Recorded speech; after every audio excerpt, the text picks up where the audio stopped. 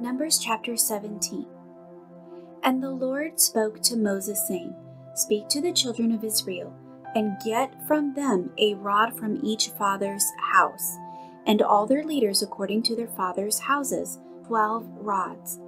Write each man's name on his rod, and you shall write Aaron's name on the rod of Levi, for there shall be one rod for the head of each father's house. Then you shall place them in the tabernacle of meeting before the testimony where I meet with you.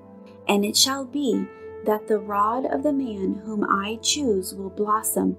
Thus I will rid myself of the complaints of the children of Israel, which they make against you. So Moses spoke to the children of Israel, and each of their leaders gave him a rod apiece, for each leader according to their fathers' houses twelve rods, and the rod of Aaron was among their rods.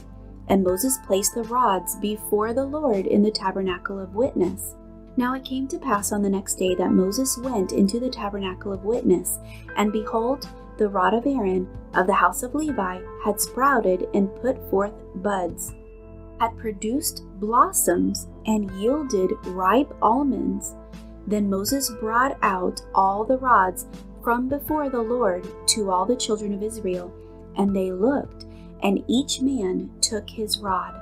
And the Lord said to Moses, Bring Aaron's rod back before the testimony, to be kept as a sign against the rebels, that you may put their complaints away from me, lest they die. Thus Moses did just as the Lord had commanded him, so he did.